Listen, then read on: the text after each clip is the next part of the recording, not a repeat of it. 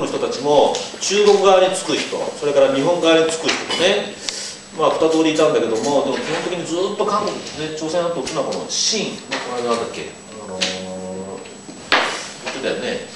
清はじゃねえや朝鮮半島は清が上なわけでしょ。そういう考え方があるわけでしょ。清なんだっけお兄お兄さんか。うん。なんかそういうようなの言ってたよね。失礼うんだからまあそういうようなあれでまあ進化する前はね。うん。まあ、とりあえずね、えー日清ね、えー日清戦争と言います。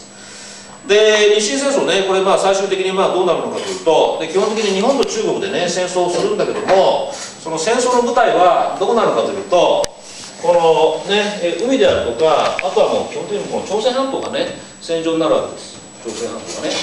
で、えーこれはだから日本がこれ勝ちますこれね。でその結果えー、毛のところね、